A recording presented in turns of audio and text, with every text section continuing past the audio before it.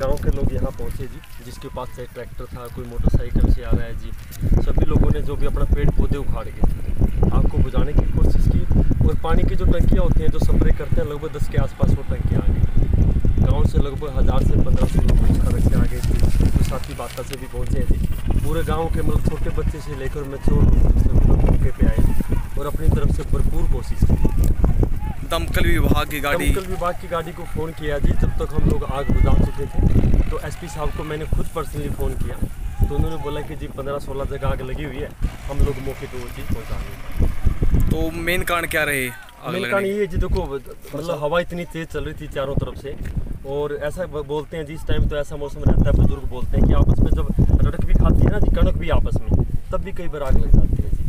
और कई बार पोजीशन तो ये रहती है जो, लाइट तो वैसे है नहीं थी बीच में लेकिन कई बार कोई वीडियो वगैरह पी के कुछ इस तरह की चीज़ें भी लापरवाही से कहीं ना कहीं जी